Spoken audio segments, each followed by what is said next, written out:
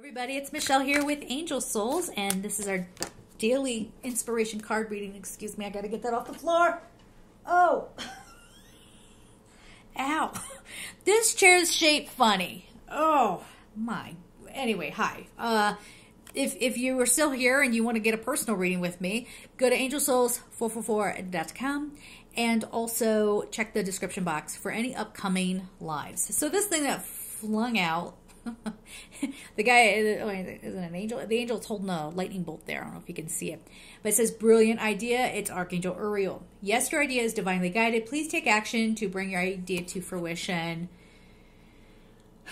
We have to be careful with statements like this, especially in an ego driven world, because someone might hear this and go, That's right. I, am going to be the next pop star. I'm going to be like the next famous whatever, whatever.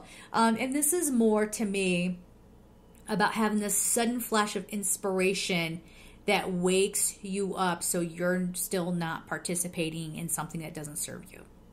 Okay? So your brilliant idea is realizing, huh, I grew up thinking this, this, and this about me, but that's not true. That's just their opinion.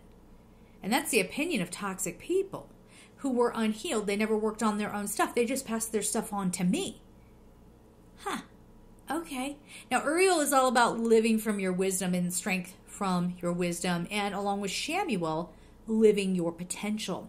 So here is your chance. Whatever comes up for you today, don't dismiss it. And for some of you, it may be, you know what, I am self centered, or I'm not very kind to others, or, you know, I've done a lot of immoral things. Why have I done that?